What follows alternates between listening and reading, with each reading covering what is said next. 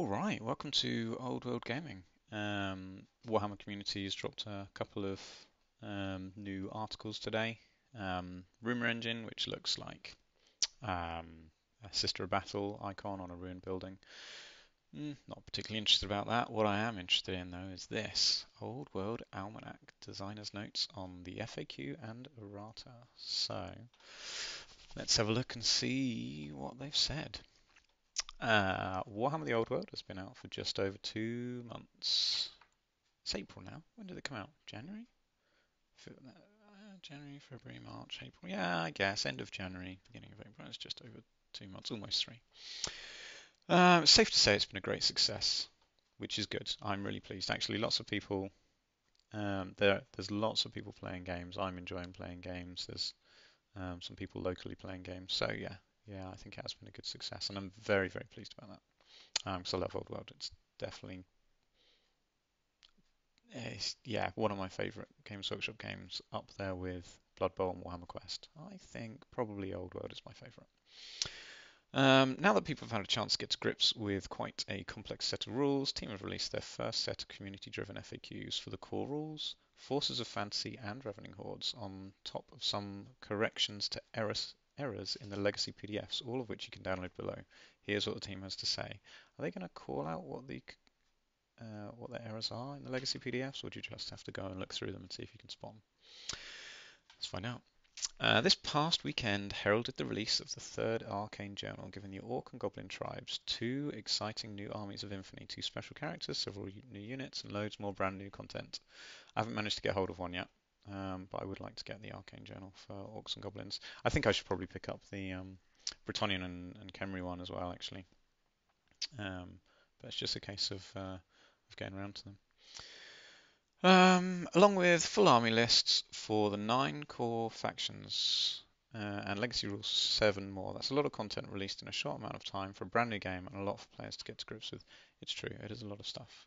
Um, yeah, I don't know how quickly they normally release rules for new um, new games. Like, I guess new editions. It'll it'll be quite a drip feed.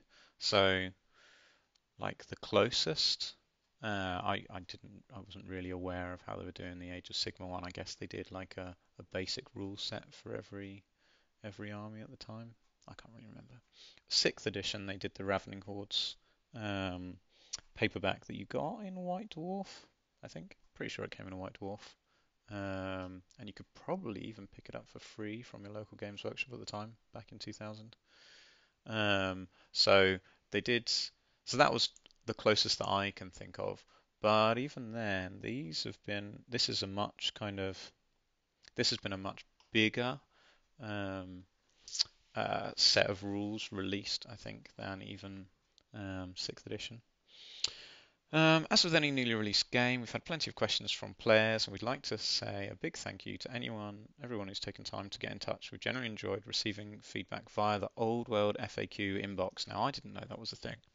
Um, so if you've seen my Chaos, uh, was it the Chaos one? Yeah, the Chaos video I did uh, a couple of days ago. I mentioned that I um, emailed off to uh, uh, to the Games Workshop, just the customer services email address, and they told me they. Uh, so I, have recorded a video last night, which I haven't uploaded yet. I was going to upload it, and then then I saw this had dropped. Um, so in that, I, I, talk about the response, um, but I'll kind of briefly cover it here again. But they they essentially said um, that they couldn't help on the customer service team would pass over to the old world team um, for a future FAQ. And the irony is today an FAQ dropped. So I doubt I doubt my question my question has made it into this FAQ because I've asked it. If it's in there, it's because other people have asked it. Um, but it amuses me. Um, the day after I day after I ask it, they drop an FAQ like it was on purpose, but it 100% wasn't. Um, okay, armed with your questions, we've updated the initial Old World FAQ document, which I did read and have completely forgotten what it said and have not referenced it since um, which included a combination of questions that designers and playtest testers anticipated would come up. I recall actually reading through the FAQ and thinking these are all basically just clarifications on rules that are sensible to me, and I would have read it that way anyway. So maybe that's why I haven't thought about it. I don't know. Uh, and added two more, one for Ravening Hordes and one for Forces of Fantasy. Okay, so they FAQ'd both the books. Both of these incorporate incorporate the relevant arcane journals. Okay. In all of these, we've addressed the questions asked most often and, where appropriate, added commentary in order to add clarity. Cool. We've also taken the opportunity to make a few adjustments in the form of errata. For example, we've amended some of the universal special rules. Hmm, interesting. Making it more clear on how they interact with units and characters. Um, okay, cool. Finally, we've updated the legacy army lists, strictly in order to correct some errors that had crept in when we wrote them. If you're using one of those, please make sure you have the most up-to-date version downloaded. Um, yeah, what what I'll be most interested to see is if they if they give like a list of all the things they've updated rather than you having to, to download them all and go through and see if you can spot them. But we'll have to find out. What we have not done is make any significant changes to gameplay or army lists. We feel that at this time Warhammer the Old World is just too new. Yep, sounds good to me. People are still learning the rules. I mean, it's literally, they just said it's two months, so there's no need to change anything yet. People are still learning the rules, forming strategies, and mastering their tactics. Further updates and errata might be required in the future, but right now we're happy with the gameplay experience and happy that the different factions each present a unique challenge. And I think that's fair. I wouldn't expect them to change any rules for a long time unless there was something particularly broken. But even then, something may seem broken uh, until you play with it a whole bunch and people start countering it. So I I I wouldn't expect them to to change anything for for a year or so, really, realistically. Thanks, guys. Click the button below to get the downloads below. I think it's above. Um, there's more good news for fans of the old world. Fans of the World of Legends, French and German translations for the three current arcane journals will be available from the Warhammer web store very soon. There we go. But yes, it looks like they're referring to this button here. Okay, uh, looking for the latest updates to your Codex of Battletome, got a question about how something in your army works. Each of these FAQs contains all of the most up-to-date errata and answers you'll need to make sure that your games run as smoothly as possible, incorporating feedback from the Warhammer community, the playtesters, and of course our studio design team. Cool, key downloads one, so what have we got? Warhammer the Old World rulebook. I assume that's an FAQ rather than actually the rulebook. Um, FAQs, and I feel like that should say FAQ. Um, Ravening Hordes, Forces of Fantasy, and then each of these have got a 9th of April uh, version. What are these? Guide to Building Metal Kits. Oh, interesting. Fine. Ah, didn't know that existed. Um, I probably, yeah, probably saw it. Okay, let's start with the the rules and see what we've got here.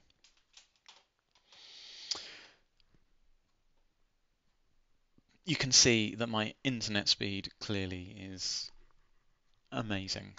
Um, there we go. That's all I have to say about that. But at least we can see it's not going to take much longer. you can mock me, mock me in the comments how appalling my internet speed is. This is why I don't do uh, don't do live streaming at the moment. Okay, Warhammer the Old World FAQ version 1.1.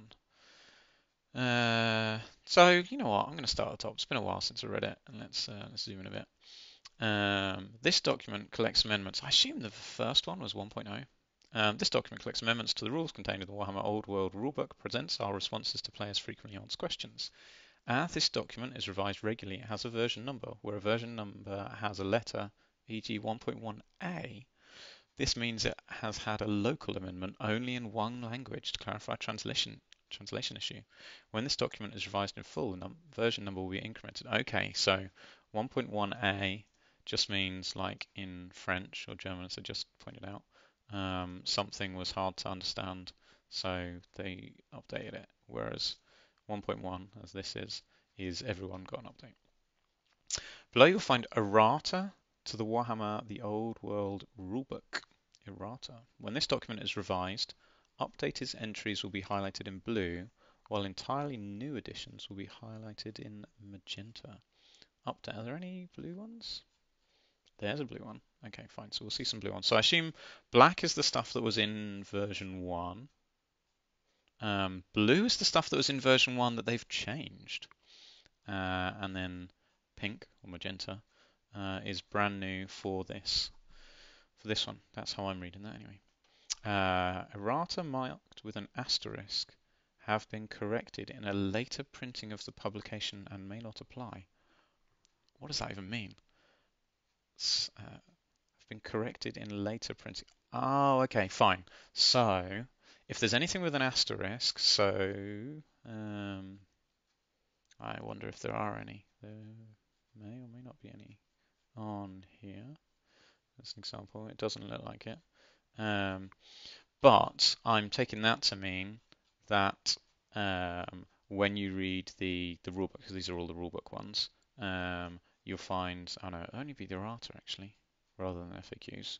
Okay, so in the next time they print the rulebook, they will update the rulebook to so to change the first sentence, for example, on this one. Um, and when they do an FAQ following that reprinting, this will have a star next to it to say if you've got a later rulebook, your rulebook will already say this because we changed it.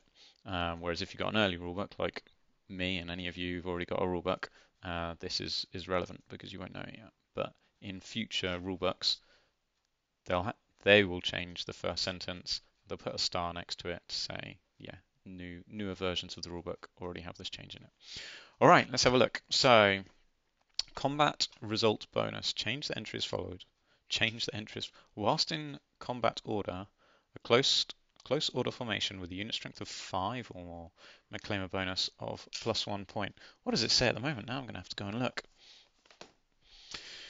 Right, let's see. You know what? Uh, I've not I've not done this before this way around. Let's see if I can add my uh, add my camera in whilst I'm recording my screen and uh, and share the experience of looking through the rulebook together. Let's see uh, see how we get on. You have to bear with me one second while I just set my camera up. Move my, my keyboard out of the way. Do I need to move my keyboard out of the way? Who knows? Right, let's put this put this here and let's find a uh, camera movie recording. Here we go. We have a camera. Beautiful. Okay. Um, let's pop that there for a second and let's grab a rulebook. See that that wasn't so bad, was it? Definitely, uh, definitely could have been worse. Okay, so here's my rulebook. Uh, what we page 101. Is this? I feel like this is probably just changing the unit strength, um, or, or putting a unit strength in. So now, what's this? Whilst in combat order, a close order formation with a unit strength of five. I reckon that's probably what it is. Um, so uh, page 101. Um, combat order, blah blah blah. Um, if a unit in close order formation is wide enough, claim rank bonus. Uh, okay, interesting. Wait, what am I looking for? Combat order, combat result bonus. Whilst in combat order, close order formation may claim a bonus of plus one combat result point. So that's to stop you, I guess, uh, having just like a lone random guy left or a couple of guys left um, to gain the plus one combat result. Unit strength of five or more, but that still means that like I'm, i feel like there's some monsters that have got close orders, so they still get their plus one generally. All right, fine. I probably won't flick for the rulebook for all of these, but just ones I'm not particularly familiar with. Um, heavy casualties change the first paragraph as follows. If during any single phase other than the combat phase, a unit loses more than a quarter, 25% of, of the models it contained at the start of the phase, must take a panic test. I feel like that already said that because I definitely I remember checking that out myself, um, and it, it said doesn't matter for the combat phase, but there we go. Um, chariot runners change first sentence of the rule to friendly models whose troop type is chariot can draw a line of sight over or through the models with this special rule and can move through friendly units if they're on skirmish formation and if the majority of models have this special rule. I imagine that's to do with the majority of models.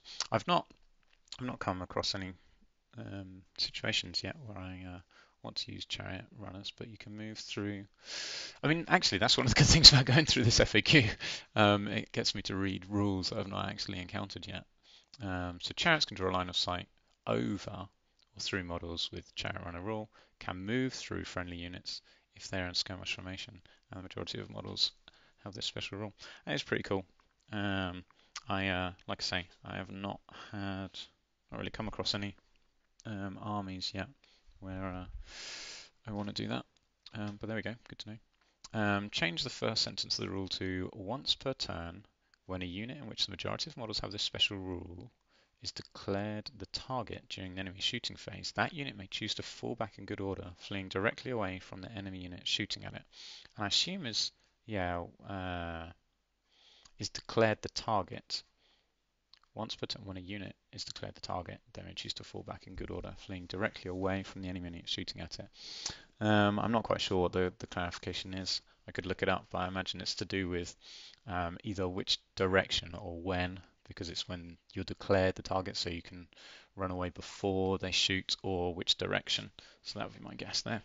Fire and flee. If the majority of the models in a unit armed with missile weapons have the special rule, you may declare that it will fire and flee as a charge reaction. So I guess I gather it's around what if some some models in the unit don't have the fire and flee. So I guess if you put a character in there and he doesn't have fire and flee, um, but if the majority of the models, that's probably what a lot of these are, isn't it? Is around um, uh, yeah, majority of models in, have this special rule. Um, majority of the models. Okay, so this is around putting characters in, actually, isn't it? Um, I imagine a bunch of you already knew that. Okay, random movement. When a model with this special rule moves, roll the dice to determine its maximum movement when it moves. So, what about if you need to check movement when it doesn't move? I don't know. Um, but fine. I'm not quite sure what that's clarifying, but sure, there we go. We're in a model with this special rule moves. What does it say? I mean, random movement, uh, I am actually very interested in random movement uh, on account of uh, squigs. Basically, that's the short answer, the, the one word answer, squigs. Um, random movement. Which paragraph did it say we're changing? Uh, the third sentence. When a model with a special rule moves, Roll the dice to determine its maximum movement. Okay, fine. What does it say at the moment? Third sentence. Uh, whenever a model with a special rule moves, for any reason, roll the dice to determine how far it must move. Wait. To determine its maximum movement? Whoa, okay. Okay. Now that is interesting because I've definitely been in situations where I rolled my rolled my movement. I was like, do I have to move the full movement? So this said, so this is actually this is a legitimate change. Um, so rather than um, rather than just being uh, rather than clearing up, this is an actual change. Whenever a model with this special rule moves, roll the dice to determine how far it must move. Now it's maximum movement, so it can move less. Now that was definitely worth looking up because I probably wouldn't have spotted that. Um, that is very good to know. So if I want to, I don't know, if I don't know, stay out of shooting range or what I think is charge range or something like that, I can do. I don't have to just go charging straight in uh, all, all the way. That is very good to know. I can't remember the scenarios I had, but I've definitely had at least one, maybe two times where I'm like, I don't really want to move that full distance. Um, so that is very cool. Okay, approved. Reserve move. Change the first sentence of the rule to unless it charged, marched, or fled during the movement phase, a unit in which the majority of the models have this special rule uh, may make a. Wait, I'm not following the way that that should be said. Unless it charged, marched, or fled during the movement phase. A unit in which the majority of the models have this special rule, reserve move. A unit in which the majority of the models have this special rule may make a reserve move at the end of the shooting phase after all shooting has been resolved. Okay, so it's putting characters in a in a unit and the, the unit can still move. I actually don't know which units have that because I really like the like the idea of that, but I haven't found any units. But then I just probably haven't been looking at the the right armies yet. I haven't looked at Wood Elves. I feel like that Wood Elves will have that kind of thing on them. I just haven't looked at Wood Elves yet. I will. I will need to look at Wood Elves in the not too distant future, I imagine. So I've got a Wood Elf army, and I've got enough to do somewhere between 500 and 1,000 points. So I'll definitely get them out to play a game. like I say, in the not too distant future. So uh, yeah, I'll be looking that up. Swift Stride, you which consists entirely of models. Ooh, with this special rule, increases its maximum possible charge range by three inches, and when it makes a charge, flee, or pursuit roll, may apply a plus d6 modifier to the result. Plus d6. I don't know. I thought it was oh, a charge. Wait, plus d. I don't know why I thought it was three inches. Um, plus d3. Um, but okay, so I think this is about the character um, joining. Uh, this time a character has to have um, Swift Stride. It's interesting how they've decided which ones which ones characters need to have and which ones they don't need to have. Um, but yeah, there we go. Um, let me just quickly check. 178 is on the next page anyway, so it's not like I need to go looking far for it. Uh, change the Swift Stride rule. Let's see, just in case I am missing something, because I haven't used Swift Stride yet. Um, I feel like I will be with my um, Chaos maybe. Uh, a unit with a special rule increases maximum possible charge range by 3 inches when it makes a charge flee pursuit roll. It may apply plus d6 modifier to the result. Yeah, so it's basically if you've got a character in the unit and doesn't have Swift Stride, then your unit cannot Swift Stride. Fine. Berserker Blade. The word of Berserker Blade is frenzied. I just thought they were. But I thought that was that not just a. I felt like Berserker Blade gave you frenzy, isn't that what it does? Um, Berserker Blade, frenzy. What? The wielder of the Berserker Blade is frenzied. I don't understand. Oh, is that the? Is that to say, uh, Berserker Blade, frenzy and magical attacks? Is that to say that actually it's the the person holding the sword gets frenzy and the mount doesn't? I think that was not a particularly good clarification. The because it already says frenzy, um, special rules frenzy, like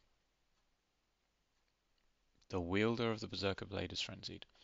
I'm kind of taking that to say that it's just the the character and not his mount. However, they should definitely have said that if that's what they're saying. Or are they trying to say that um, it doesn't specify here that it gives the character frenzy? I don't know. I don't feel like that's particularly particularly good clarification. Um, are they are they trying to say that some people haven't realised that it's the guy who gets frenzy, not the sword? Or I I don't know. I, that clarification doesn't feel particularly clear. Um, Helm, uh, let me know if you disagree. The Bedazzling Helm, add the following to the start of the rule. Models whose troop type is infantry or cavalry only fine, as opposed to what? What other troop type? Oh, you can't give it to beasts? I'm trying to remember all the troop types now. Um, I feel like everything's fits into that, doesn't it? Except for monsters. Who's a monster? A monster? I guess you can get characters who are monsters. Um, again, I haven't really. Is the um, like no are there are there any characters who are monsters? Chariots. Wait, does that mean you can't? If you if you get in a chariot, do you become a, a chariot as your troop type? Troop types, categories of troop type. Five categories of troop type. Um, it doesn't actually say it just there. Uh, models, blah blah blah. Oh, I never saw that. This section doesn't. Instead, because characters. Uh, fine, interesting. All right. Um, doesn't list the five main troop types. I was just expecting it to, to list it right here. I realize I'm on a tiny screen, but whatever. Um, infantry, swarm is a troop type, cavalry is a troop type, chariot is a troop type, and monster is a troop type. War machines, are they a troop type? that sounds like six. I don't know. Anyway, whatever. Um, but infantry and cavalry only. Fine. Page 344. Dispelling a spell. If the result exceeds the casting roll, the spell is dispelled because the quick reference sheet said something else uh, that you could just meet it to dispel it. So fine, good to know. Okay, so frequently asked questions. So these are all things that are additions to the to the book. So the errata stuff to change in the book, um, whereas these are, are people who are asking a question about how to read what the book says. Um, so I don't think we'll need the book for a little bit. Okay, So below you'll find our answers to frequently asked questions, where possible answers are given immediately, followed by further explanations. When this document is revised, updated entries will be highlighted in blue, entirely new additions highlighted in magenta. Same deal as before. Uh, no asterisks because these don't go in any books. Um, general principles. If I mark the position of a unit, then proceed to move it before putting it back where it was and moving again, does this count as a take back? sure, define take back. yes, absolutely. Is take back a thing? Um, what? I've got no page reference for take back. If I mark the position of a unit, then proceed to move it before putting it back where it was and moving it again, this kind of, I don't even know. I don't quite understand the context for that question. Um, it would be nice to have a page number if there's if take back is a rule. Is take back a rule? I don't know. Can a unit arrayed in close order or open order formation be one model wide? Yes, if there's only one model left, for sure. Um, and I guess if you want to have like five ranks of one model for whatever reason, um, how does a close order unit uh, of one model act? A close order unit of one, just one model act. Is it still close order formation or does it act like a skirmisher? That's interesting. Close order unit always acts as such, even if it only contains a single model. And I guess that's because, like, like I mentioned earlier, I'm pretty sure monsters are close order. I feel like they are. Um, and so, yeah, I don't want to make them skirmishers. Yeah. I'm just going to double check that actually monsters. I feel like monsters are a close order unit. Uh, monsters. Here we go. I'll make this big so you can see what I'm looking at.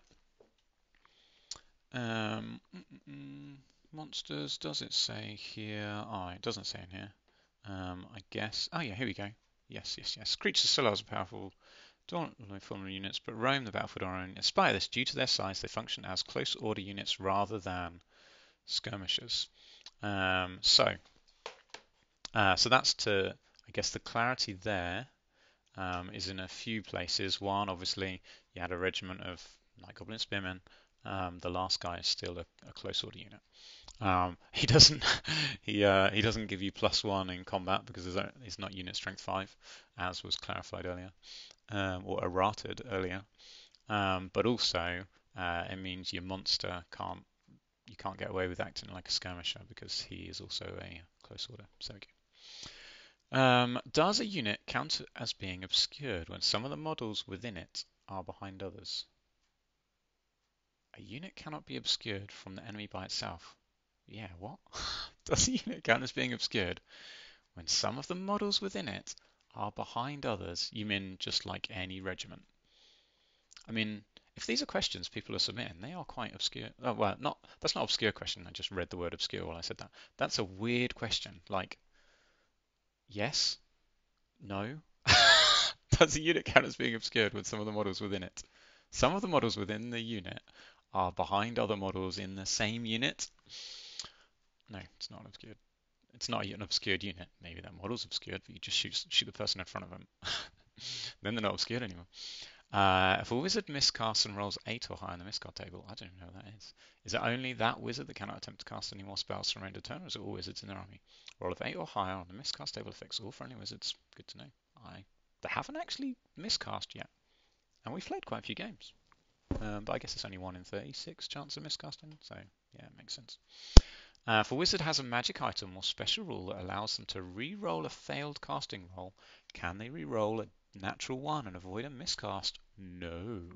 Roll of natural double 1 isn't merely a failed casting roll, it is a miscast. I see. So it's a miscast, and not a fail. A failed casting roll, like you need to get an 8 plus and you roll a 7, that's a fail. Um, but a double 1 isn't a fail, it's a miscast. Fine. Okay, yeah, I can take that. That is good to know though, because I probably wouldn't have, uh, have noticed the difference. Um, and may well have tried to, to re-roll uh, a miscast. So that is that is good to be clarified. What happens to remains in display? Play spell it's already in effect. The wizard that casts it attempts to cast again, ends immediately. Can a model wearing armor or carrying a shield cast a bound spell? Yes. I can't, I'm trying to remember. I feel like that that was asked recently somewhere, but I can't remember. Can a wizard with a physical attribute that counts as a type of armor, such as Treeman Ancients, Arboreal armor make casting of the spells? Yes. I feel like that's obvious. While such attributes are as protective as a suit of armor, such models do not wear armor. Yeah, I mean, maybe, I guess it's not obvious, but uh, yeah. Does a wizard that's joined a unit need to be in base contact with an enemy model in, uh, to cast an assailment spell? Do they need to be within the fighting rank? Fighting rank, fine. Wizard declines a challenge, retires from combat. Does their unit does their unit lose the benefits of any self spells the wizard has cast? Ooh, Ooh. interesting. Self spells, fine. Um, interesting. So I was just musing on. Um, oh, perfect. Uh, in my chaos chaos list uh, that I want to take um, a sorcerer in a uh, in my unit of knights um, and cast demonic vessel on them to get plus one strength and attack and an extra AP. But look, it's range self. So that, I mean, that's a good tactic. I'm not going to remind anyone of that tactic when I play against them. Um, but challenge the wizard, uh, and then they lose the uh, lose the benefits of the spell. That is a great tactic to use. Um, I hope people don't realize that when I play against them because I definitely don't want them to be doing that to my wizard. Um, I want him to just be buffing my unit and be happy and on his own, left alone. Um, uh, but he doesn't say he has to be in the fighting rank though for it to work, does it? So he can sit in the back of the unit if I want him to. Can you challenge someone who's not in the fighting rank? I don't know. That's a different question. Um, okay, fine. Oh, you know what? It is related. I'm going to quickly look up challenges. Can you challenge someone who's not in the fighting rank? Because then that becomes the counter, right? Is you you put your wizard not in the fighting rank.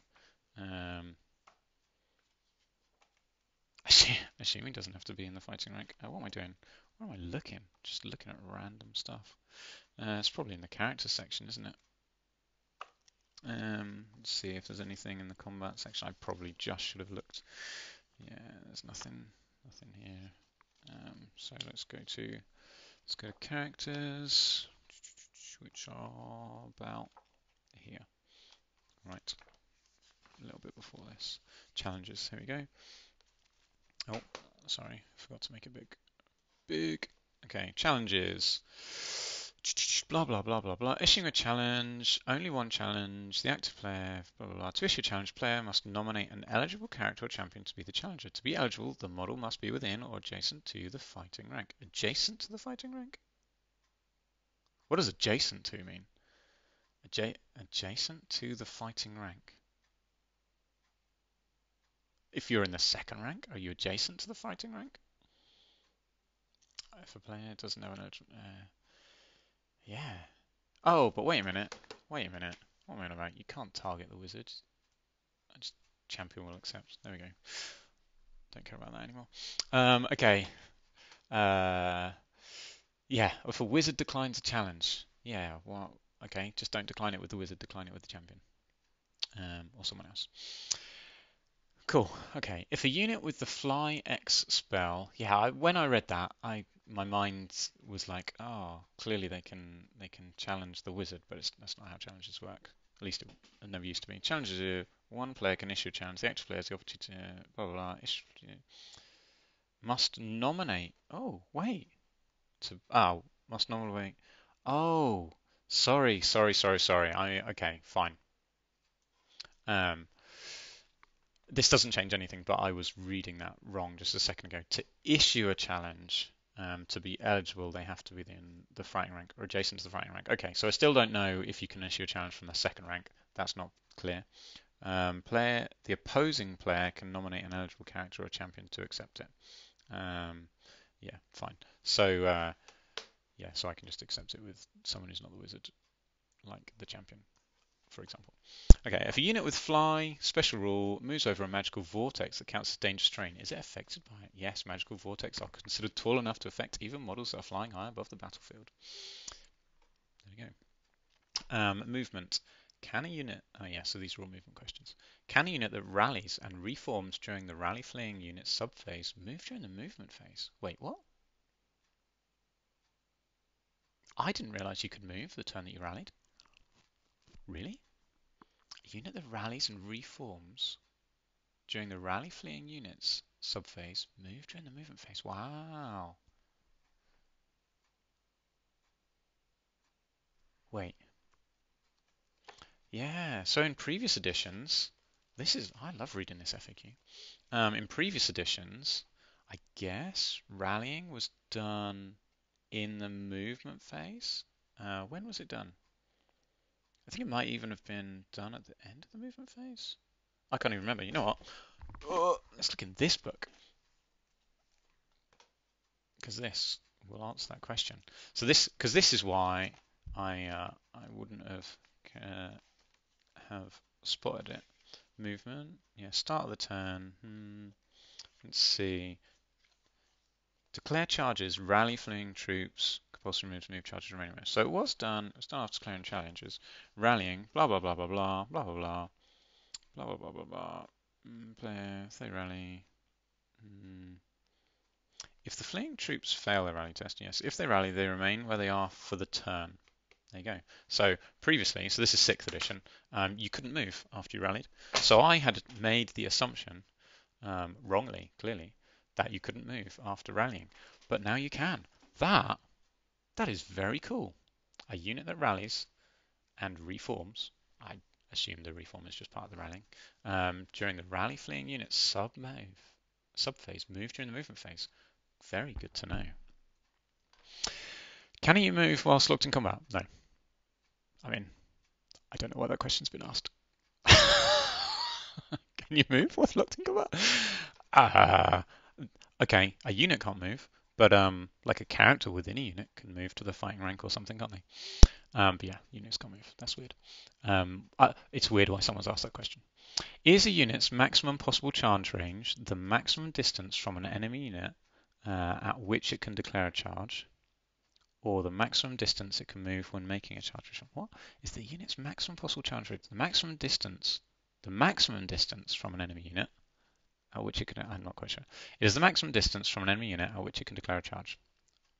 Maximum possible charge range, the maximum distance from an enemy unit at which it can declare a charge, or the maximum distance it can move when making a charge move. I'm not quite sure I understand that one, and I'm not sure I feel I need to. Maximum range is just maximum range. Yeah, no, I, I feel like I want to get my head around this. Is a unit's maximum possible charge range the maximum distance from an enemy unit at which it can declare a charge, or the maximum distance it can move when making a charge move. Oh, I see. Is this like the Swift Stride thing? Uh, where is it? Swift Stride gives you a, a three inch extra possible charge range, but you actually get d6 extra. So arguably, let's say you've got a 10 inch charge range for argument's sake, which Oh no, wait. Uh, yeah, whatever. Um, you've got an extra three inches rather than an extra possible six inches. I don't know. It was a poor example, but whatever. Okay, fine. So that's that. That's what that question is asking. Um, maximum possible charge range is not the maximum distance you can move, but the maximum distance from an enemy unit. I'm not sure that even clarifies that. Anyway, never mind. When a unit performs a maneuver, can its front edge pass through another unit? No, the only exception to this is when a unit pivots. Oh, and pivot's not a maneuver. Interesting. So you can wait, so you can pass through when you pivot, which is weird. Um, but yes, pivot isn't a maneuver. Someone pointed that out to me the other day, um, and they were right. Um, pivot is a, like a just a special move that open order and lumbering units can can make, which is where they they just turn on the spot um, at the end of the move. When a unit wheels, is it acceptable for a rear corner to pass through another unit? Okay, so that's this bit. Yes, provided the unit doesn't end its movement on top of another unit or within an inch when a unit wheels, those at its rear do not really follow along curving paths. It might appear when moving a large block unit. In reality, they would, they would take a more direct route following the path of the front rank and resuming the formation behind it. I mean, that's cool to have stuff like that to make it more less rigid, more realistic. Um, I approve of that. Does a unit that has to declare a charge due to being friendly, frenzied or impetuous have to do so if a friendly unit of skirmishers lies between it and a potential charge target, obstructing its movement.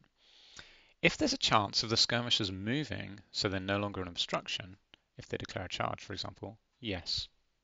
Otherwise, no.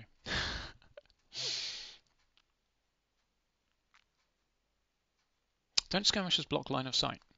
Don't you have to see a unit you want to charge? Do skirmishers block line of sight? I don't know, I, feel like they do. Um, but maybe not. Where are skirmishers? Uh, war machines.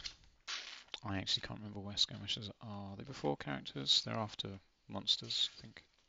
No, they're not. Maybe they are. Ah, skirmishers, here we go. Line of sight, mm, shooting, you know what, moving through skirmishes, see if it tells us on here. Um, open order, combat order, skirmishes, blah blah blah, blah blah. Facing line of sight, uh, they already. Other units can see through units in skirmish formation. If line of sight can be drawn between the individual models, the individual models block line of sight as normal. So you can see, you can see, if you're standing here, you can see through that gap. But if you're standing here, you can't see through. You can't see through this unit at all, actually, looking at it, if you're standing here, because they all block line of sight. But if there, they don't block line of sight. Interesting. All right, fine. Skirmishers. I was going to say skirmishers do not block line of sight. Individual skirmishers block line of sight. A unit a skirmishing unit does not block line of sight. Okay, so does a unit declared a charge due to being... Does a unit that has to declare a charge if a friendly unit of skirmishers lies between it and a potential charge target obstructing its movement? This is quite obscure. If there is a chance of the skirmishers moving, so they're no longer obstruction, obstruction, if then yes. Otherwise, no. I mean, fine, that's the ruling. Um, seems a bit weird because I feel like a frenzied unit has to try and charge anyway. I mean, may, it would almost make sense to to use them as the um, the chariot runner kind of rule. But there we go. Um, all, I mean, why? Why couldn't you? Why chariot runners? Draw line special rule can miss for any years. I mean, I don't know why skirmishers, like why the chariot runner rule isn't just a skirmisher rule and everyone can charge through chariot uh, through skirmishers. That'd be cool, and that would stop that being an issue. Anyway, although it cannot make a charge move, a unit in marching column can declare a charge. Why is this? Several reasons. Firstly, a drilled unit that declares a charge whilst in marching column can freely redress its ranks to adopt combat order after determining its charge range but before moving, thus allowing it to make a charge move. So that makes marching column actually good um, and, and useful. So if you want to, yeah, drilled, or it makes, maybe it makes drilled actually useful. No, it makes it makes marching column useful because um, you can you can put stuff in marching column swiftly, march swiftly down the battlefield, and then free form and charge into combat. Um, I don't know if any dwarves. Do dwarves have drilled? Because that could be really good for dwarves, like moving nine inches a turn instead of six. So yeah, that's pretty cool. Um, Secondly, units that are obliged to declare a charge in certain circumstances. Wait, are there any cavalry that are drilled? That could be really cool for cavalry. Just move mega far. Anyway, secondly, units that are obliged to declare a charge in certain circumstances, frenzied impetuous, must do so even whilst in marching column. If they cannot make the charge move, they don't move at all and the charge is failed. This prevents marching column being used to avoid declaring compulsory charges.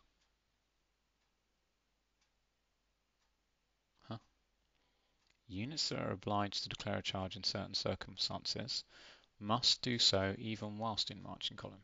Yeah, but if they can't change, if they cannot make the charge move, they don't move at all and charge is failed.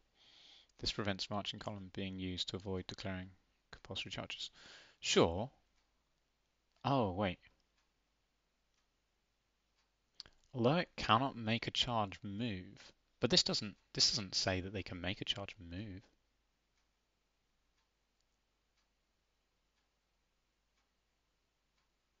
I'm not sure that really clears things up. Units that are obliged to make a charge, frenzied or impetuous, must do so even whilst in marching column. Fine, but you can you can declare a charge. If they cannot make the charge move, which they can't because they're in marching column, they don't move at all and the charge is failed. This prevents marching column being used to avoid declaring compulsory charges. I'm not sure that really clears things up. Are they trying to say that if you're frenzied or impetuous and and you have to charge, you charge in your marching column formation, and therefore marching column hasn't uh, stopped you declaring your compulsory charges. I think that might be what it's saying. And gutted, you're now in a marching column and had made your charge. I'm not sure. Uh, yeah, that I need I need an FAQ on that. uh, alternatively, there might be a psychological advantage to declaring a charge with a marching column. For example, the unit might cause terror, or the charged target might already be fleeing. Of course, it isn't easy to set up situations where such tactics can be used, and therein lies the challenge. Yeah, that's a bit weird as well. That doesn't feel particularly realistic. We can't charge you, but we're pretending to charge. Ah, be scared. Um, I don't know, how I read that. Um, if a drilled unit in marching column has to declare a charge due to being frenzied or impetuous, can it choose not? Wait, a drilled unit. Can I choose not to use drilled to redress the ranks and adopt command? If unit is able to redress the ranks, no. So you can't choose not to. A unit that is obliged to charge must endeavour to make use of any special rules it has in order to charge. The unit must really, the unit just really wants to charge, and it will play this game without you if it has to. I, I don't know if this has cleared stuff up for me around the frenzied stuff. So wait, is this is this clearing up that? Saying that frenzied and impetuous units will be declaring a charge, uh, and if they don't have drilled, they can't make the charge. Uh, and this is saying, but if they do have drilled, you have to make the charge. I think that's probably how I'll read it until I get any different clarification. But I kind of, this one kind of reads more like you're in marching column, you have to charge with frenzied or impetuous. But I don't know. If I want to charge an enemy that, that is a large target with a unit of mine that is in its front arc, but cannot because the enemy unit is already engaged in its front arc, can instead charge in its flank. No, sometimes charge is impossible. Yeah, I, I'm not quite sure why that's a question.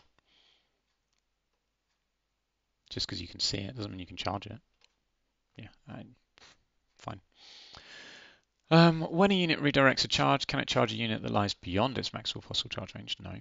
Um, if a unit that has a raid in open order wishes to use the fast cavalry special rule to perform a quick turn, I have not looked at the fast cavalry rules. After marching, can any of the models within the unit move further than twice the movement characteristic? No, it just tells you in the book. When a unit enters the battle as reinforcements, um, is there a limit to how far onto the battlefield models can be placed? Yes, the units considered to have moved onto the battlefield. and No model can be placed more than twice its movement characteristic. Yeah, fine. Model use a breath weapon after marching. Yeah, see this this bugs me. Model cannot shoot during the shooting phase if it marched during the preceding movement phase, and although they work differently to most missile weapons, breath weapons are a type of missile weapon. I feel like a dragon could be breathing fire, like pelting it towards you, but what do I know? Can a unit that's partially on a hill shoot in two ranks or draw a line of sight across other units that are not themselves on a hill? Only with those models that are on the hill. Yeah, fine. Can a unit on a hill draw a line of sight across and shoot over another unit on the same hill? A unit that's closer to the top of the hill can draw a line of sight. Units cannot draw a line of sight. Yeah, that's fine. You have to be higher. So individual models, basically, that's the outcome of this. Individual models have to be higher than other models who want to shoot over them. Some chariots are equipped with large-scale missile weapons such as bolt throwers. Who shoots the weapons? The crew, the beast that draws the chariot, or the chariot itself? What a, I feel like that's a dumb question. Missile weapons mounted on chariots are shot by the crew. Yeah. Oh uh, yeah. Now, if they were asking about a hell cannon, who shoots a hell cannon? Is it the crew or the the machine? Well, that's a different question. Um, but that is not the question at hand. Um, yes, yes, the crew shoot the bolt throwers. Um, okay, fine. But yeah, see, Hell, Cannon. I I briefly looked at the Hell Cannon rules, but I didn't see it. I didn't look at anything that might need ballistic skill. Um, can you do indirect fire with a Hell Cannon? That's the question. Okay, there we go. There's my question. If you use indirect fire with a Hell Cannon, whose ballistic skill do you use? The Hell Cannons or the the crew? Um, let's. I'm opening the Ravening Hordes book now. Um, does the Hell Cannon even have a ballistic skill? Uh, where is it?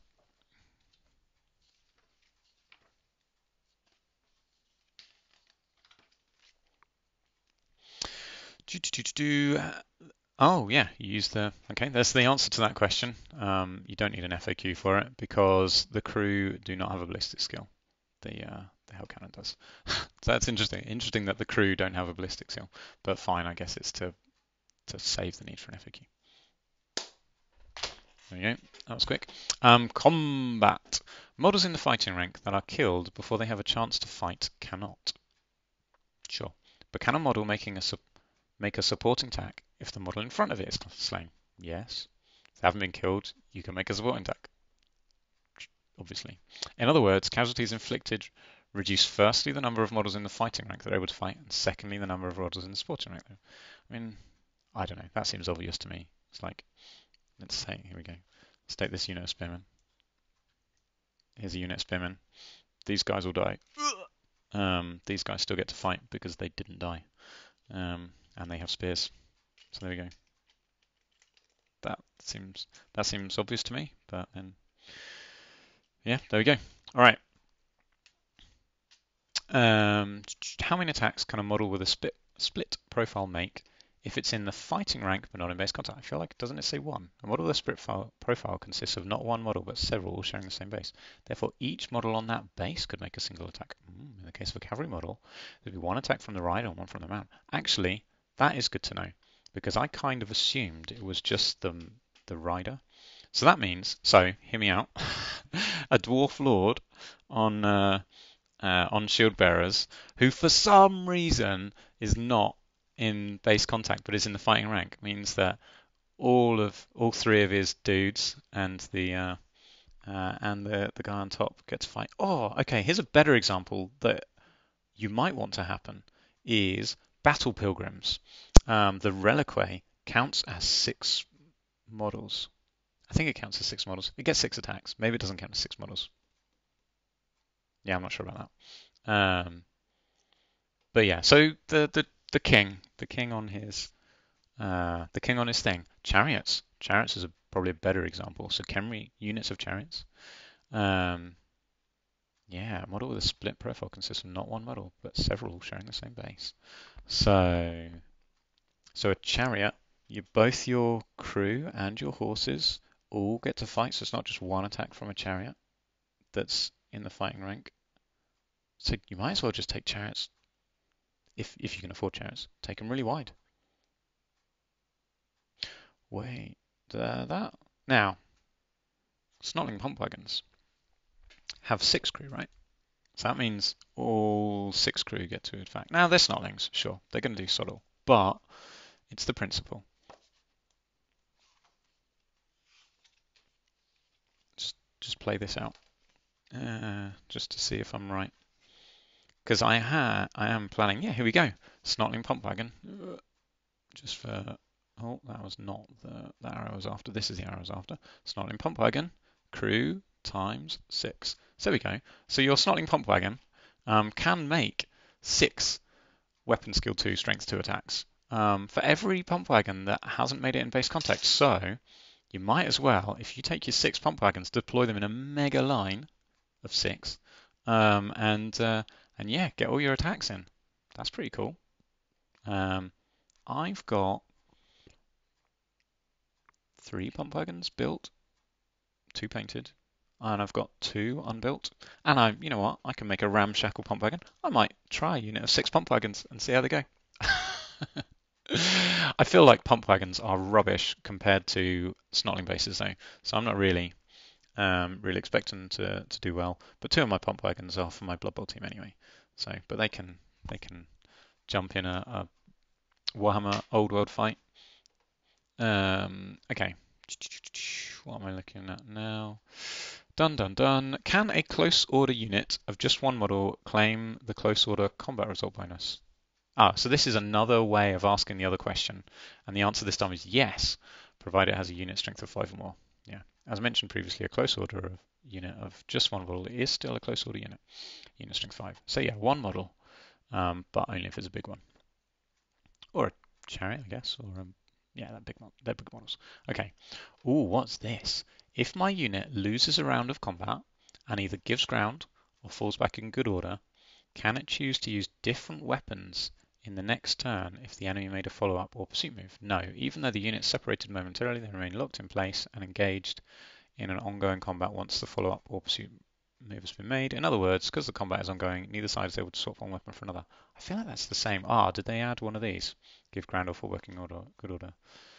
They probably updated one of these. Um, but yeah, I I feel like the um, the intent of that hasn't hasn't changed. That's uh, that's what I kind of expected it to. It's still the same combat. I guess maybe it's this give uh, the fullback in good order kind of feels like it could be a new combat um, because it's like a a runaway and a, a catch up, but they're only they're only falling uh, back d6. It's not like they're doing a 2d6 move, is it? I'm pretty sure it's d6 you fall back. I'm trying to remember now. It doesn't happen very often. Um, but yeah, and sometimes that's even shorter than a, a give ground move because you roll a one. I feel like that's happened in our game. Um, but yes, there we go. It's just the same combat.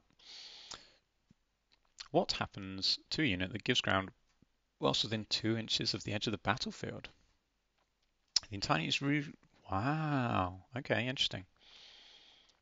Because you um, you can kind of like wheel and, and stuff maneuver off the battlefield uh, and back on again. But this is they yeah, you win. you win or they lose. What happens to a unit? The unit loses. Gives ground losses in two inches of the battlefield. Runs away. Fair enough. What happens to a unit that cannot give ground due to the presence of another unit? They're stuck. Uh, unit that wishes to make a pursuit or overrun move what happens if a unit that wishes to make a pursuit or overrun cannot move due to the presence of other units? Then they can't do it. It may happen it's simply impossible for pursuing or overrun unit to move without being up on top of a unit. In such cases, the unit doesn't move, but is considered to have made a, but is considered to have made a pursuit or overrun move. Okay, they tried to chase but just couldn't. Fine. If a unit completely destroys an enemy in combat and makes an overrun move, can it attempt to reform after moving? Unless it pursued into a fresh enemy, yes. A unit that overruns makes a normal pursuit move, and since its enemy has already been wiped out, it may attempt to reform as if it had run down its foes described on page 129. Cool. Uh, destroys and overrun. Yeah, fine. Okay. If a wizard, so challenges, if a wizard engaged in a challenge knows and uses an assailment spell that can hit multiple enemy models, such as an assailment spell that use a template, are, are multiple enemy models hit or is it only the other participant in the challenge that can be hit? You can only hit the other participant in the challenge, which is fine. Uh, if one participant in challenge causes impact hits or makes a stomp attack, where are they directed? Against the other person in the challenge. They are getting all of the hits and all of the stomps. fine, I mean, be careful what challenge you accept, I guess. Um, or, uh, good on you, champion for taking just getting completely mangled and mushed into a pulp, uh, taking it for the team. If one participant is killed in a challenge, can other models engaged in the same combat direct their attacks against the survivor during the same combat phase? No, he was busy. Uh, yeah, that's the answer to that. Psychology of War. I'm trying to. I, I feel like I'm reading it right, you come down here and then you go back up here and you carry on going. Psychology of War. Are units required to make panic tests due to the actions of friendly models? For example, if a wizard miscasts and rolls 2 to 4 on the miscast table, causing a dimensional cascade and inflicts sufficient casualties on a friendly unit to, to cause it to panic, must it take a panic? Yep. It sounds pretty scary. Units must make a panic test when a nearby friendly unit with a unit strength of 5 or more is destroyed. When is unit strength counted from the start of the turn the start of the phase. Well, if it's destroyed, then what? Well, the start of, or the point at which the unit is destroyed. Hmm. From the start of the phase during the unit was destroyed. Fine. So start of the phase is where you count it from. Good to know. That is actually good to know. Universal special rules. Can you choose not to roll for the arrival of ambushes during your start of turn? Nope, you just have to. Um, yeah. if a weapon with the armor bane, they just turn up when they turn up. If a weapon with the armor bane special rule also has a poison attacks, what happens if a roll a six? You can choose to poison or you can choose armor bane, isn't it? Um, yeah, so it's up to you. Do you want to poison them or do you want to do you want to hurt them lots? Um, does the Armor Bane X special rule apply to spells cast by a model with rules, such as assailment spells, magic missiles, and magical vortexes? No. It's the, so, the spell has to say that it's got Armor Bane, right? I think that's what this is saying. Does the Armor Bane special rule apply to spells cast by a model with a rule? Yes, it's not the, so if the model has Armor Bane rule, that doesn't apply to the spells. If the spell has Armor Bane rule, then it applies. Just to clear that up a bit, because that almost looked like uh, spells don't get Armor Bane, but they do. It's the spells that come with it, not the model. Some mounted models have countercharge special rule, but others don't, even though the same type of mount is potential. Countercharge rule represents skill and ferocity of rider. Yeah, so some people can do it, some people can't. Can a drilled unit redress the ranks before giving ground? A unit that gives ground is not a fleeing unit. I, you know what, I need to read the drilled rule again. Um, as mentioned previously, should any part of a unit cross beyond the edge of a battlefield while it's giving ground, the entire unit is removed from play and counts in being destroyed. It is intentional that a drilled unit might be able to avoid this fate. Ooh, there you go. Redress ranks before giving ground. So yeah, you can change the shape of your unit so you don't get don't disappear into oblivion or get disintegrated by the magical wall of the edge of the battlefield that zaps you. Cool. There you go. Good to know if you're if you're into drilled units. I might have to like drilled sounds like a particularly good ability. I need to pay more attention to units that have it. Do effects that modify a model's movement characteristic also modify how far a model with the fly X special rule can fly? If a model has fly special rule, the number given in brackets is essentially a second movement characteristic. Any effect that modifies, modifies one will modify both, plus, plus or minus. Fine, cool. E is a, is a movement characteristic. Can a model with two versions of fly, special rule, combine both of fly first? no, a model has more than one version of fly. Essentially, there's two movement. Yeah, he's. I assuming the time you get a second version of fly is when you've got a spell cast on you that gives you fly.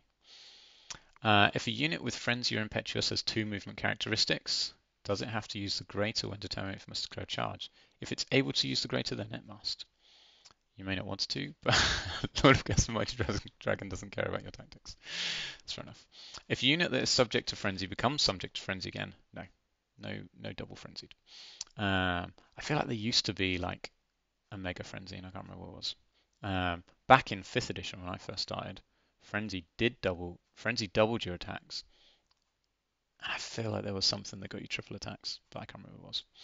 Um, can a model with large target special rule draw a line of sight over or through another model? No, because they're big, both big. What happens if a weapon is subject to both ponderous and quick shot? They cancel each other out. Can a character using that's fleeing use random cry? No, would hit instead of them running away. Can a unit with random movement special rule move around or past an enemy unit?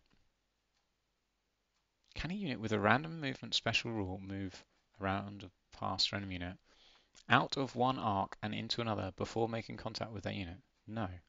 Whilst units that move randomly do not declare charges, if you wish to move into contact with an enemy unit, it must fulfill the same criteria as any other charging unit during its movement, as detailed on page 126. That sounds, to say that it must fulfill the same criteria sounds, I don't know.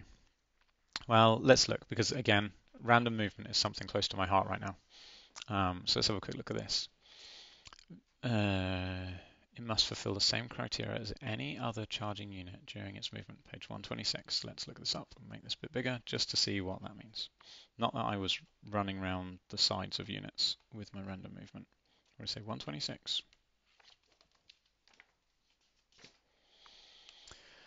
Charge move. Obliged to fulfill certain criteria. A charging unit must endeavor to bring as many models as possible within its front rank into base contact with models in the charged unit. Okay, unit must move by the shortest route possible to reach the charge target. There you go. Unit must move forward in a straight line. Uh, after moving a unit, that charge must ensure it's aligned again. Yeah, fine. Okay. I can't quibble with those. They are fine. Yeah. If you're charging, or if you're randomly moving into an enemy, it, you're going straight forwards. Um, and uh, yeah, there you go. I'm happy with that. How far does a unit with the random movement special rule move when giving ground? Two inches.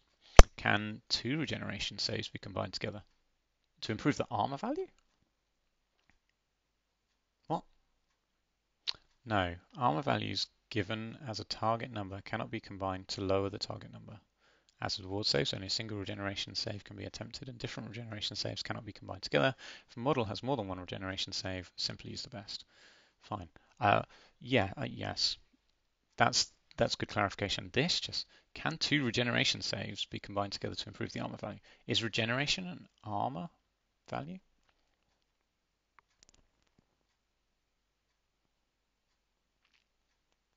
Fine. Um, if a model with regeneration X plus special rule passes its regeneration save against an attack with multiple wounds X, do I still need to roll the dice if the number of multiple wounds is generated by a dice roll? Yes, even though the wounds were saved, they still count towards the combat res. Cool. Can a unit that deploys using special scouts make a vanguard? No. That's sad, but there you go, true. Uh, when a unit that does not have stupidity special rule is joined by a character that does, the unit becomes subject to a special rule. What happens if the character leaves it? They stop being stupid. Yeah, makes sense. If your unit with the stupidity special rule fails its leadership test, how long is it stupid for? Uh, unit te units test for stupidity in the start of their sub start of turn sub phases unless they're engaged in combat. By extension, the unit that fails its stupidity remains stupidity stupid only until it passes the subsequent test. Yeah, I mean, by this, because stupid units used to lose like half their attacks in combat in previous editions, something like that. But now all stupidity does is means that you wander, for, you can't control them during their movement phase. They wander forwards, their movement. They can't blunder into combat, as I've discovered. So you, you move and you don't get to, yeah, you have to stop an inch away um, from an enemy unit. You don't actually get to fight in combat. Um, so that's that's different as well, because I'm pretty sure you could blunder into combat previously. Um, but yeah, so stupidity really now is just a movement thing. I think. I don't know. Does it affect shooting? I'm not sure. If a unit of skirmishers succumbs to stupidity, in which direction do they move? They should continue moving the general direction they moved previous, or if they didn't move in the previous turn, towards the nearest enemy unit. Really? That's a bit of a weird one, but I guess you got to you've got to give them a direction. So in lieu of any other, yeah, I mean it's a fair question. Which direction do skirmishers move? Um, yeah, same way they were going last turn or towards the nearest enemy. Unit, You've got to got to give them somewhere to go. So fine, but it is, surprises me it's towards the nearest enemy unit. Because my my trolls, when they go stupid, they don't go towards the nearest enemy unit. Sadly. Um, Swift stride, or do they? Is that what stupidity does? I don't think so. Swift stride enables a model to move further during a charge move than its maximum possible charge range. Does it? Oh, I see, yes. Because the models with this special rule delight in running their cowards who flee before a charge. Wait, Interesting. Fine, cool. If a character without the Vanguard special rule joins a unit, uh, yeah, so let me just tell you what went through my head. Um, because you're, to determine whether you catch your opponent is how far is the dice roll, right? Rather than how far you move. Is that right? I don't know. Either way, it's fine. Um, if a character without the Vanguard special rule joins a unit with its own deployment, can the character make a Vanguard? No uh, will not be able to make a vanguard. However, the unit has a skirmish formation, it can make its vanguard move as normal, leaving the character behind. I wasn't expecting that, but fine. Okay. Can a character without the veteran special rule that's joined a unit with the veteran special rule benefit from it when attempting to use a special rule that requires them to make a leadership test? No. Uh, when a character attempts to use a special rule that requires them to make a leadership test, they must use their own leadership characteristic, and unless specifically stated otherwise, cannot use any additional special rule. I'm not sure what veteran does. Does that give you? I don't know what veteran does. Uh, I have not needed. Maybe I should look it up. Let's quickly look up veteran. Uh, it's a universal special rule, right? Um, so universal special rules. Here we go. Veteran. That was See, I'm getting relatively good at navigating this book now because that was quite easy to find. Um, veteran. For the majority of the models in unit, unit in this unit have, have this special rule, they may re-roll any le failed leadership test. Oh, that's good to know. Um, cool. Okay, so veteran lets you re-roll. Is it any any failed leadership test? Wow. Okay, so it's like re-roll panic and stuff. Um, it's a bit like bit like Mark of Undivided. Uh, but no, he doesn't get to use their veteran status. Some attacks, oh, oh, some attacks allow a specific model within a unit to be targeted. So this is like the Waystalker. Can such an attack be used to break the coherency of unit skirmishers and cause the other models to be removed as well? You cannot remove a model from a unit of skirmishers if doing so would cause the unit to lose coherency. However, an attack targets a specific model. The model must be removed. In such cases, simply replace the removed model with another model belonging to the same unit, one that could be removed cancelling. Yeah, fine. Um, when a character takes a chariot as a mount, do they replace one of the crew? No. Interesting. You, so they used to replace one of the crew, didn't they? But yeah, fine, cool. Um, great. A character mounted on a ridden monster or a chariot can choose to use their own or their mount's armor value, whichever is better. If the character is wearing magic armor, but I choose to use the mount's armor value, can I still claim other benefits conferred by the magic armor? No. It does say whichever is better, right? I guess, yeah. Anyway, fine, yeah. If a character mounted on a ridden monster or chariot carries a shield, does that improve the mount's armor value? No. Just, mm, on a ridden monster. Oh, I see. Fine. I was trying to work out, like, when are you attacking? You're never attacking the monster, you're attacking the character. Okay, fine. Yeah, the shield is the that's his armor save, and you're choosing which armor save to use. If a warband character joins a warband with a rank bonus of one or more, does the modifier to the leadership characteristic increase their command range? Okay, cool. Good to know. Uh, I think the reason I haven't come across that situation yet is because my general has always been the character in the um, the warband unit, and so he just they've got a 12 inch command range, so it hasn't affected it assume it doesn't increase. Yeah, it's not what it's saying. Um, if a warband character joins a unit that isn't a warband, does that unit's rank bonus modify their characteristic? Leadership? No. Cannon don't target enemy models, they target point in the ground. How does it work when targeting lone characters? Can a cannon be fired in such a way as to hit a lone character and normally be protected? Yes, interesting. I can't remember what this said. Purpose of targeting lone is to protect them from shooting, blah blah blah. Therefore, in the spirit rules, unless they're closest, uh, blah, blah, blah, cannot be struck by a cannonball, even if the base lies directly under the path. However, if a lone character's base lies directly under the strike point of cannonball I hit, I'm not sure. That basically defeats what that said there, but whatever. Some magic weapons or special rules allow specific models within a unit to be targeted. Do such attacks ignore Lookout Sir? No, you can still Lookout Sir. That's good. Um, if a named character is equipped with a mundane weapon, that kind that does really nullify the. Yeah, is that good? I'm not sure that is good now. I'm trying to think. I was thinking if I'm being shot at, I want someone to say look out, sir. But if I'm being sniped at, should someone be able to say look out, sir? No, I don't think so. Special rules allow specific models within you do such attacks. Ignore the lookout, sir rule. Mm, okay, I'm maybe I'm not a fan of that rule actually because I feel like I should be able to um, should be able to snipe characters without them being safe, like champions and stuff, with a sniper rifle. No one's going to spot you. Anyway, if a named character is equipped with a mundane weapon such as a lance or cavalry spear and a magic weapon, can they choose to use the lance or cavalry spear? Must they use their magic weapon? They must use their magic weapon. Yeah, pretty standard. Some named characters will carry a backup weapon which they could use when their magic weapons destroyed. That hasn't changed, that's normal. Do special rules conferred by a model's weapon apply to attacks made by the model's mount? No, I think that's what the Berserker Blade thing was trying to say. Maybe.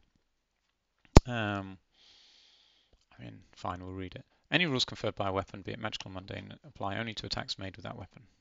Um, yeah, I mean, I don't think yeah. Let's give another example. What is a special rule unique to its faction that grants additional rules to a hand weapon, crew of an orc or chariot? Applies only to the riders. Yeah, I mean that's that's. I feel like that's obvious, but there we go. Some monsters have weapon with notes that state they must make or may choose to make one attack or one additional attack with that common weapon. Can they make more than one attack with that weapon? No, because it says they can They may choose to make one attack or one additional attack. So why would they make more? No, it's because they're like um, a manticore with its poison tail, and the reason it's got however many attacks it does is because one of it is its poison tail. Can a model armed with two hand weapons choose to fight with just one hand weapon? Yes, because sometimes it's better. I'm not sure how often it is, but yes. Um, yeah. When can a model use lance during any turn which it charged or counts as having charged? Okay, that's good for follow-up rules. Uh, can a missile weapon be used in combat? That is actually very cool. If you can make people run away, uh, like fall back in good order, because you count as charged if you if they fall back in good order.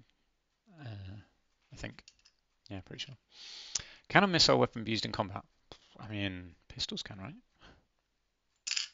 It says no. So uh, obviously the answer is no. I'm still going to look it up anyway. uh, I felt like pistols could be used in combat. Yeah, it literally says it can. but um,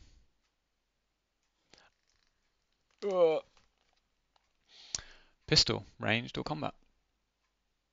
Uh, brace pistols are two profiles representing how the weapons are used in combat. And it's definitely in the missile weapons section. but whatever. Um, I think the I think the point is you can't use your longbow in combat. Um, but yeah, I mean they definitely should have called that out. I feel like that's a uh, an oversight. No, unless it's a brace of pistols. Is that? I feel like it's only brace of pistols that has that. Yeah. Yeah. I reckon I reckon that is going to turn blue next time and say unless it's a brace of pistols. Um, okay, war machines. Can a cannon target a point on the ground if woods or hill lies between it? No, you can't shoot over hills, uh, even if it's on a hill. Well, that's interesting. You can't shoot over another hill. You're on a hill. You're on a hill here. There's a hill here. So my hand with my my cannon on my hand hill over here couldn't shoot the mouse over here because there's another hill in the way. So yeah, there we go, fine. Um, and same for woods. Can a cannon target a point on the ground if another unit lies between it and that point? No, unless you're on a hill. Can a cannon be shot in such a way as to hit an enemy unit that is engaged in combat with a friendly unit? Ooh. Cannot shoot at enemy units that are engaged in combat. On page 143, now this is interesting. 143, because I want to know what it says about stuff. Um, you can't intentionally shoot into combat, fine. But can you accidentally, like, I don't know, foot of Gork on a unit in combat, or um, fanatic unit in combat? Oddball stuff. Hmm. Shooting into combat. Except in rare cases, units cannot shoot at enemy units that are engaged in combat. Yep. Oh, that actually doesn't help me. If any of the... No. Ah, disappointing.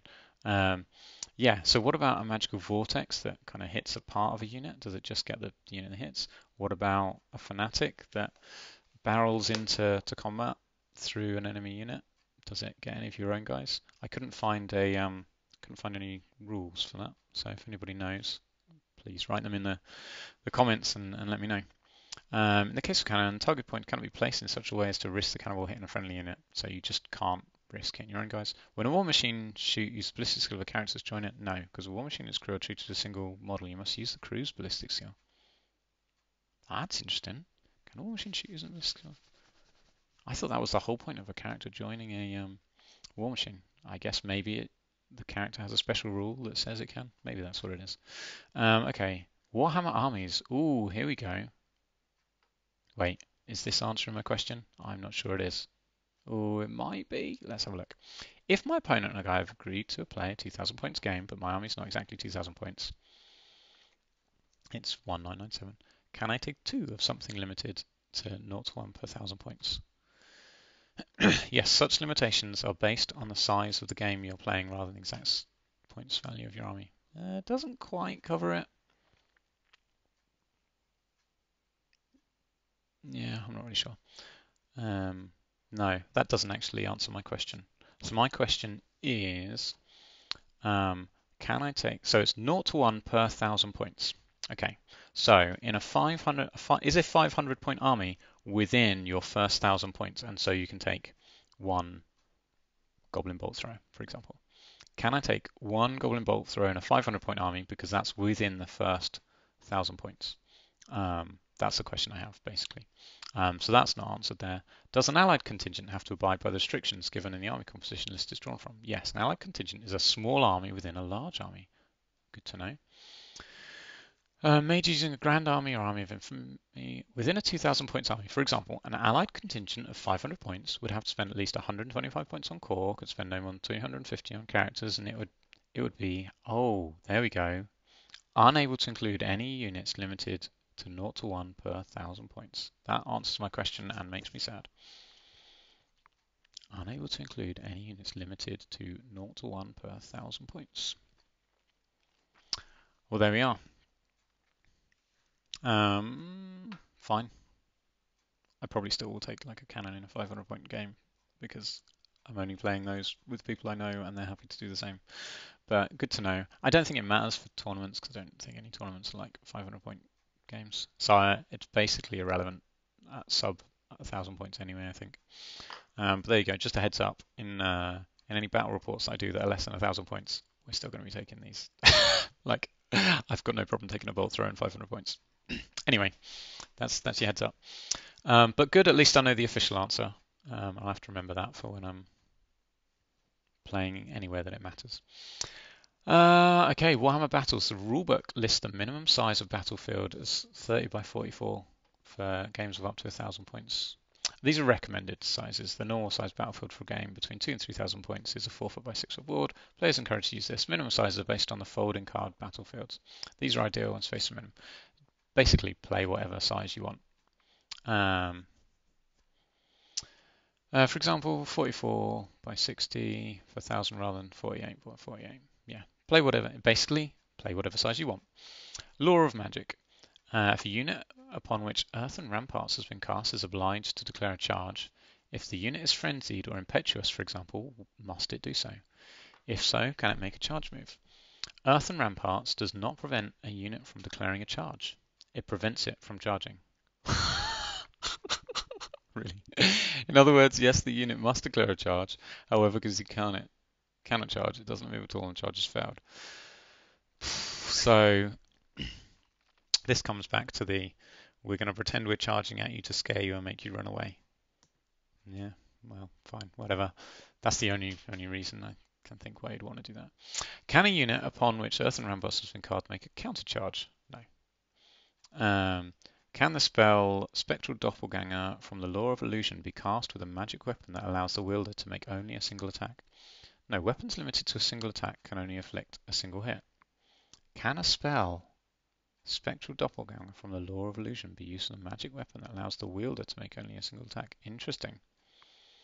Okay, fine. There we go. Um, can the wearer of the Wizarding Hat cast spells while wearing armor? Yes, the wearer of the Wizarding Hat is not actually a wizard. Their magical powers are granted by a haunted hat, which is not affected by any armor the model may wear.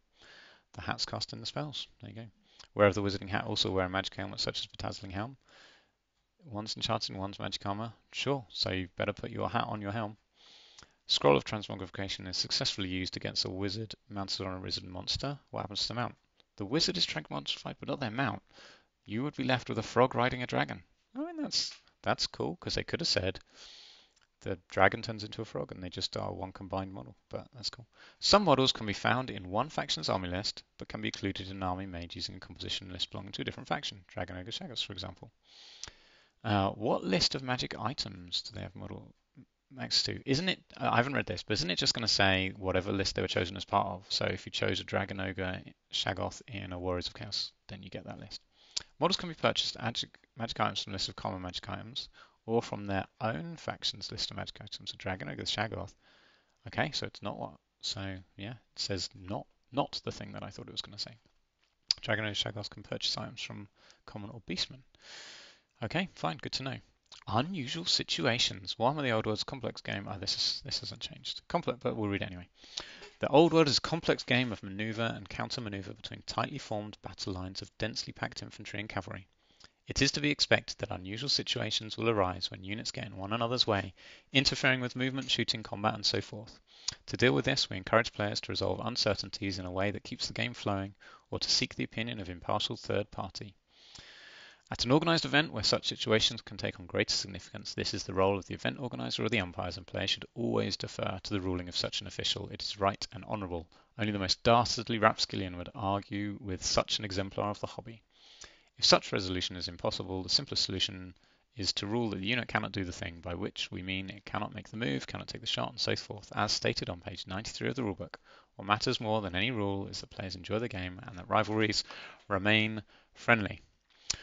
All right, well that took a lot longer than I expected. So what I'm going to do, I'm going to end the, the video here and I'll do a separate one on the um, the other FAQs. But that was really interesting. There uh, there were certainly a few things like this random movement one. That was very good to know. I don't have to move uh, the full distance. It's just the maximum movement. So there's a few few good things in here. Chariots, like every everything, uh, like all of the crew on a chariot model and and the um, the mounts being able to make attacks even if they're not in base contact because they each model gets one attack. Those kind of things, very good to good to know. I will have to um, pay more attention to, to drilled units because they look particularly good. Um, so yeah, very very cool. Uh, good to good to get some um, uh, official rulings, and I am disappointed about the 0 to 1 thing um, because that doesn't make as much sense uh, as I was hoping it would be. But there we go. Whatever. Cool. All right. Well, hopefully that was interesting. That was certainly interesting for me. Um, and uh, thanks for watching, and uh, catch you in the next video.